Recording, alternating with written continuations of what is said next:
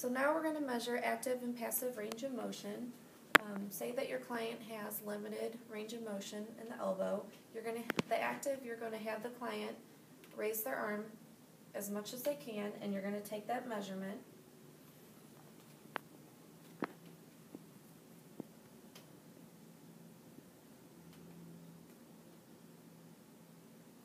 So the active range of motion is gonna be about hundred and twenty degrees. So to measure passive range of motion, you will raise the arm as much as it will allow you to go, and then you will take a measurement.